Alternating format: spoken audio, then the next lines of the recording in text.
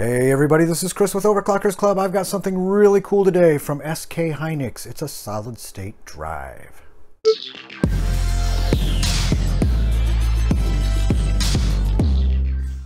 Many years ago, let's see, uh, hard drives looked like this. This is about 20 years old, and this is uh, 1281.9. Very important to get that 0.9 in there. Megabytes and that's what they look like. They had the old IDE interface, and this is about 20, let's see, 1999. So 20 years ago, over 20 years ago. I've got some older ones than that around here too. Why I hang on to them, I don't know. This one is from around 2011, and this is 160 gigabytes, so you can see the size has certainly changed. And then they moved over to a SATA type of interface. And a few years later, again, this is 2011, a few years later, they really exploded with half terabyte, one terabyte, two terabyte. I know they've got over 16 now. But these were developed a few years ago. These aren't new by any means, but they've sort of uh, changed the game when it comes to storage now that the pricing has come down and the capacities have gone up. This is a one terabyte unit. And uh, the box doesn't really have anything on it as far as specs or anything interesting. Like everything you need to know is pretty much right there. And SK Hynix is a very famous chip maker. So there's what it looks like. It's amazing how small these are. I mean, this is this is really the size of a stick of gum. So they've gone from you know, a hard drive like this years ago. And actually the ones that are older, and I can't remember where I put it, but they're actually much larger than this if you go back far enough. And then they've come to this size. Going over some of the basic information here, the first thing that will really get your attention uh, are the read and write speeds. So it's rated at up to 3,500 megabytes per second, and on the right, it's up to 3,200 megabytes per second. So the numbers are pretty close there between the read and write. And this is really an exercise in SK Hynix doing everything themselves, pretty much. If you look at some of the information on this little slide, uh, the big thing that jumps out to me is the 128 layers of the NAND. And you might say, well, what does that mean? Well, 3D NAND devices uh, they have multiple layers and they're stacked on top of each other and they're tiny little vertical channels that sort of connect them. And uh, for a while there, there were 32 layers, 48, 64, uh, 96 layers was at one point a really big deal. And now we're up to 128 on this particular device. So that's pretty impressive. We also have uh, PCIe uh, 3.0, the NVMe interface there is 3.0 which is good. Uh, and again, SK Hynix is using a lot of their own proprietary information and technology here to develop this. And as far as the warranty goes, you've got a five-year warranty, and uh, it's amazing here. We've got 750 terabytes written. That's impressive. Now, one thing I find very interesting, if I can zoom in here, if you look at the label there, it says biodegradable packaging at least 90% degradation within 180 days. So that's nice to see they're being uh, responsible and not dumping more plastic into the landfills. And I do think it's really nice that a manufacturer takes the uh, recyclable packaging, or biodegradable packaging, I should say. Uh, seriously, that's very refreshing. Now, one thing when I'm handling uh, stuff that's sensitive to electrostatic discharge, memory, and uh, hard drives like that. I try to make sure I use my anti-static wrist strap and then it's connected to the post here, it clips on there, and then this frame is grounded back here over to the table and I verified that the uh, that there's continuity there for the ground.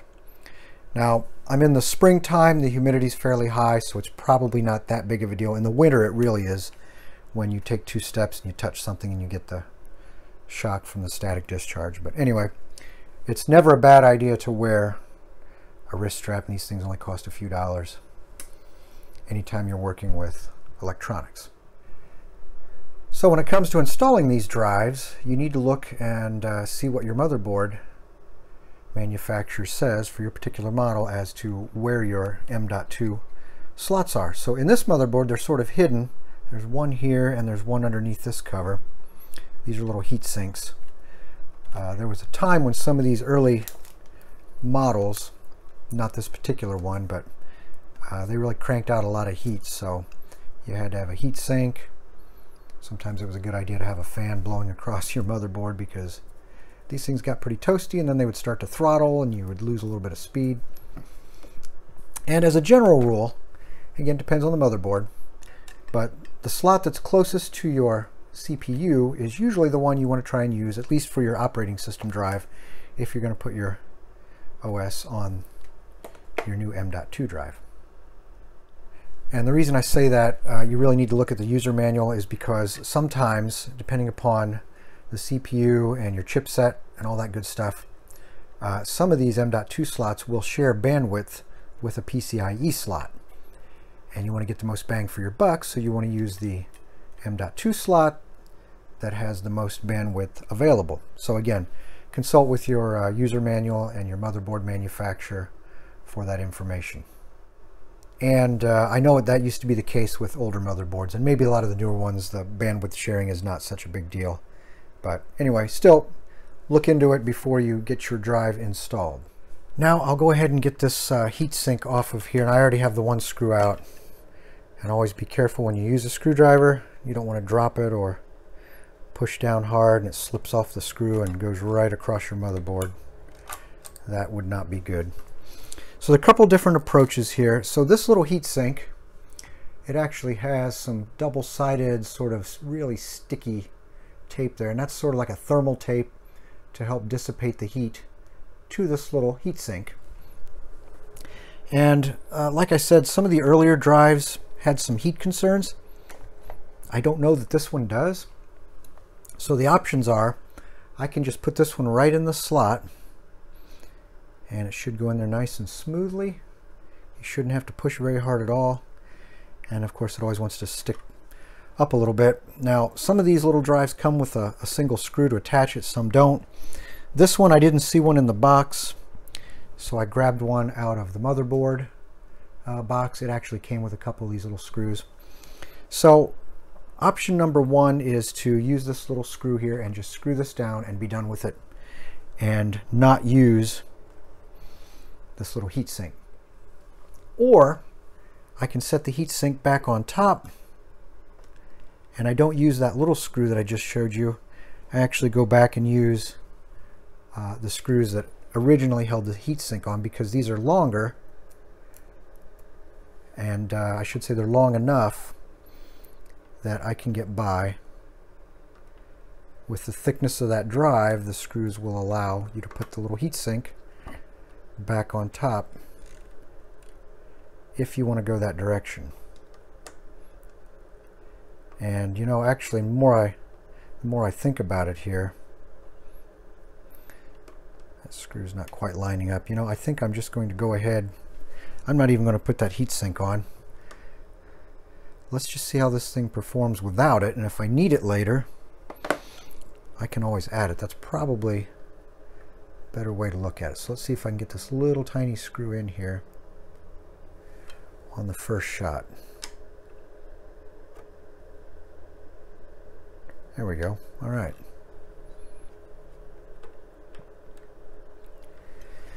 So we'll take a look at it, see if it's uh, getting hot, and, and what will happen when these things get really hot. They'll start to throttle and they'll uh, choke back on your speed.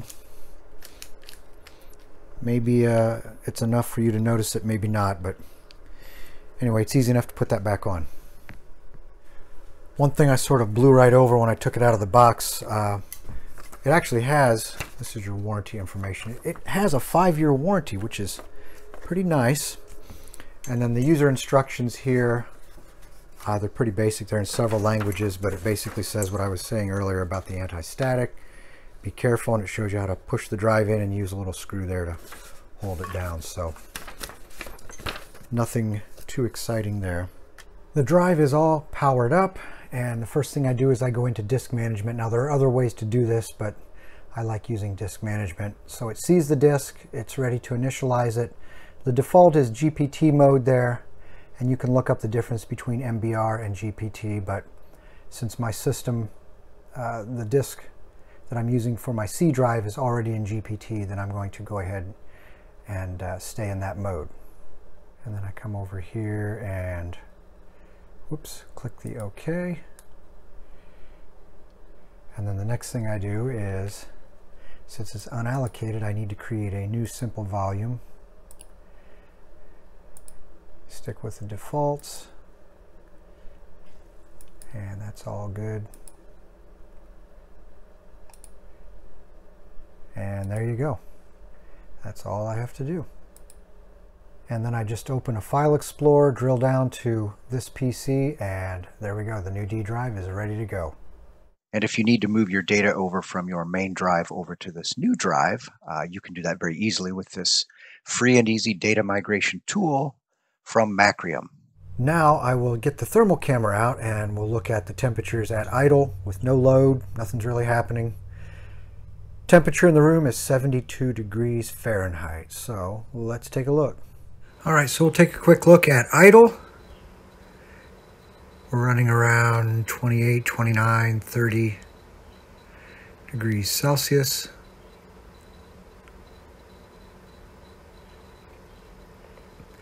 And that's with no load, so we will get it rolling here with a load on it. All right, so now I'm doing some stress testing, and you can see the temperatures have definitely popped up over idle. So it looks like we're getting close to 60 degrees Celsius. It looks like the hot spot is right in that area there. These are the first two runs of Crystal Disk Mark. And you can see the numbers are pretty close between the two, and we're hitting numbers that the uh, SSD is advertised to uh, run at. So we'll go ahead and get a third run in here just to sort of confirm our numbers and see what that looks like. And keep in mind, uh, normally you won't see those temperatures for just everyday use. Uh, if you are moving a lot of data back and forth uh, without any rest in between, yeah, you'll probably see some temperatures creep up.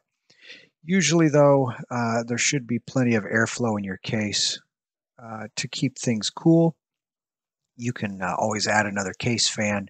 They also make little aftermarket coolers for these uh, solid state drives too, and I'll be checking a couple of those out here uh, very soon. So this is the third run of Crystal Disk Mark. There's the version I'm using. And uh, I'll compare this to the other two runs that I just did. And then when this is done, I will fire up Atto and compare the temperatures there that I'm seeing with Crystal Disk and see if there's any difference. And of course, here are the results from the third run of the Crystal Disk Mark. And uh, again, the numbers are pretty consistent. And now Atto is running. I know I said I was going to run three passes on this, but uh, I think one pass is probably enough.